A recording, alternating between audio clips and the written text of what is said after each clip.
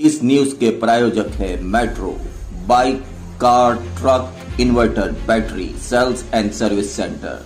Vapi Char Rasta, contact at double zero zero three six double zero double one.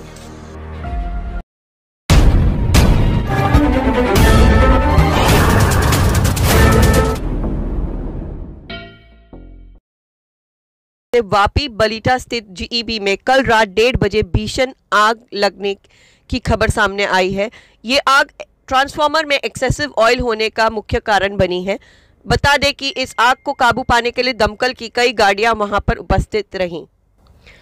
आग लगने के कारण वापी के कई विस्तार में पावर सप्लाई कट भी कर दिया गया था।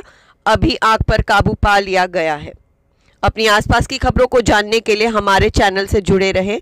हमारे चैनल को लाइक, सब्सक्राइब करना ना भूलें, बेल आइकन दबाना ना भूलें।